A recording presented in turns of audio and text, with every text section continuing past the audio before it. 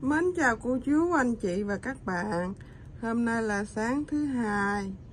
À, Giờ này mới có 7 giờ sáng mà là 99 độ rồi. Hứa hẹn một ngày à, thật nắng nóng.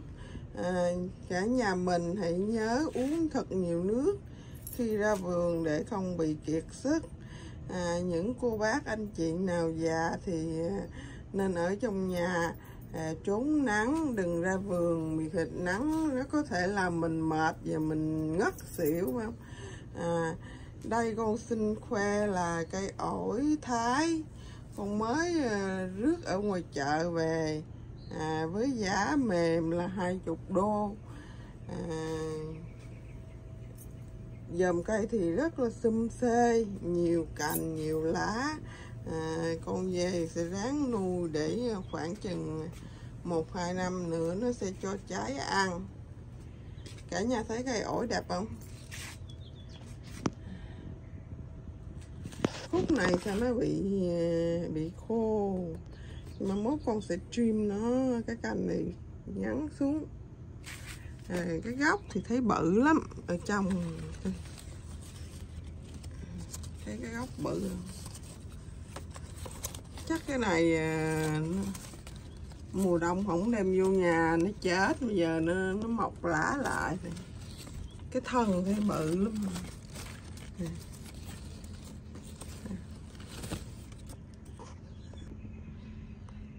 Cái ổi này à, thì à, người bán viết là big Wua tree white sweet à nó có đề tiếng thái nữa. Chắc con nghĩ là ổi thái à, với giá là 20 đô. À, mình mua về mình nuôi nó thì khoảng một hai năm nữa thì nó sẽ cho trái cây dơm rất là chùm xê.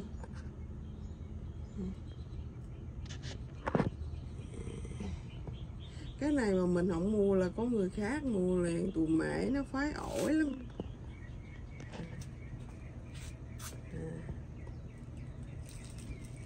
Kế đến là cây uh, sabuche.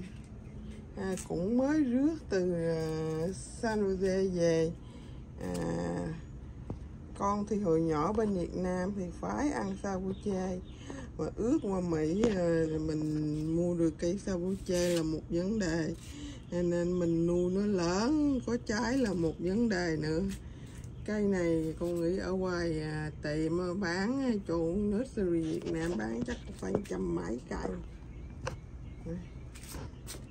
cái này còn nhỏ con nuôi con mua về à, nuôi nó sẽ lớn.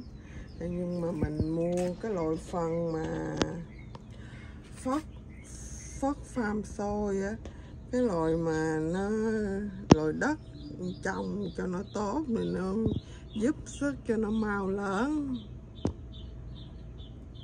Cái này, cây này là phải mùa đông là phải đem vô nhà để ở ngoài là nó chết queo. Ở đây mà được cây này là quý lắm.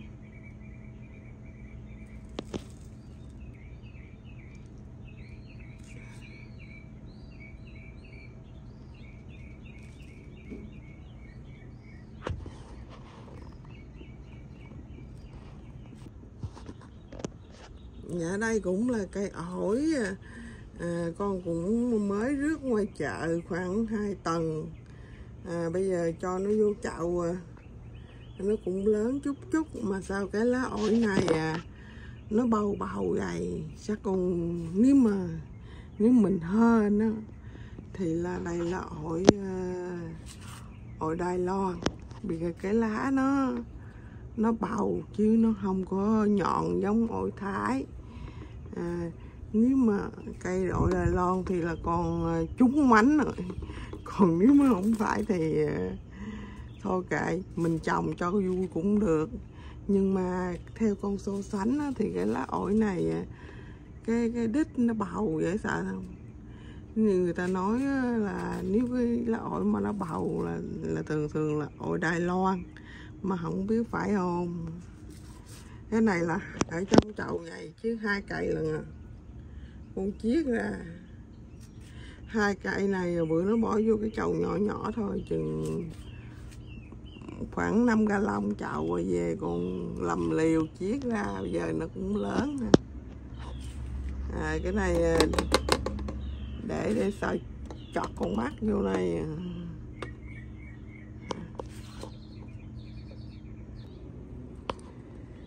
và đây cũng là một à, cây ổi thái nữa. À, con cũng mới vừa trồng vô chậu khoảng à, hai ba tháng. À, mình cho phần à, đất phất farm á, thì nó ra nó cao lớn khỏe mạnh.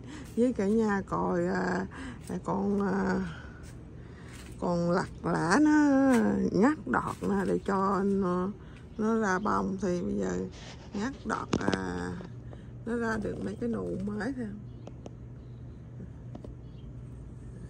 Cây này còn nhỏ thì con à, con cho nó năm nay cho nó đậu khoảng chừng một hai trái thôi. Thì nếu mà đậu nhiều quá à, nó yếu sức.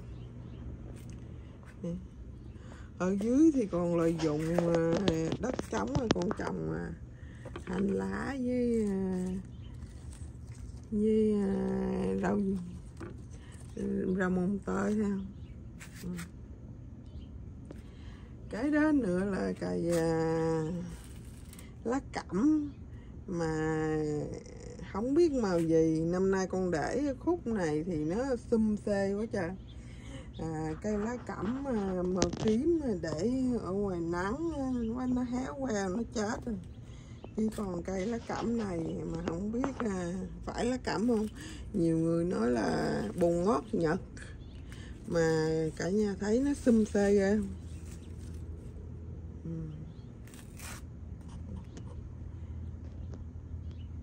cái này à, hái lá vô nấu canh ăn cũng mát lắm nếu mà bùn ngót nhật.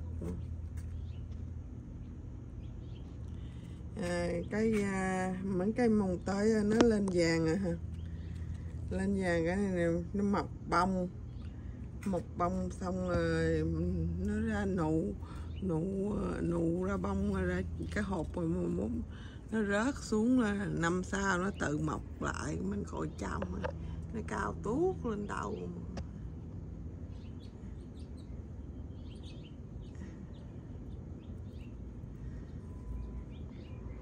Cái lá dầm tươi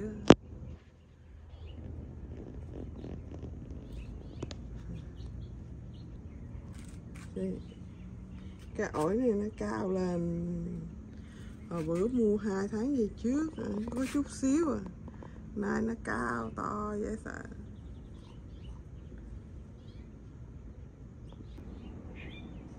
Cây bông giấy ờ, màu cam mà rất là đẹp. Màu này lạ lắm. Thường thường là màu tím nhiều. Màu này khó kiếm. Cái lá nó như cẩm thạch nha nó nó khác hơn cái lá nó có màu à, ở trong uh, xanh và ở ngoài nó viền viền cái lá nó rất là đặc biệt người ta kêu là giống màu cẩm thạch.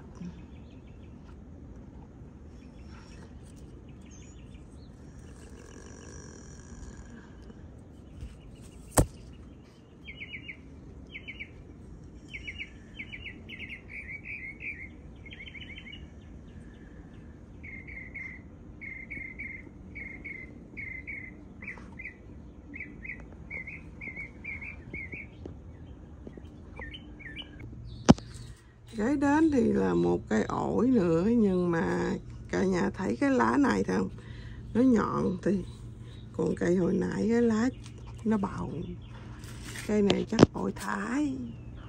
À, cũng nhỏ cái thân cũng lớn mà cũng bằng một lóng tài à. à con nuôi nó cũng được ba bốn tháng rồi. Bây giờ nó cao lên rồi. Tốt nữa cũng trồng được chậu luôn. À, hồi mấy bữa nay nắng quá lá nó héo rồi nó cháy lá luôn. Mai là sáng tưới rồi chiều tưới nữa mà nó cũng cháy lá thôi. À, ở dưới thì còn lợi dụng đất còn trống á. À, mấy cái rau quế à, ăn phở mà cái loại à, cái cành già, con ghim xuống bây giờ nó cũng ra nhiều lá như đây là đủ à, hai tô phở của hai vợ chồng ăn à.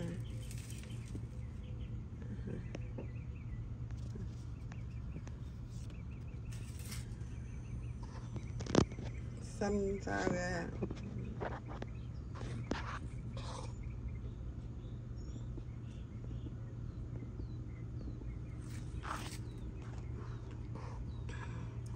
cái lá này thì nhọn hơn là biết ổi thái liền. Còn cái cây nãy cái lá nó bầu.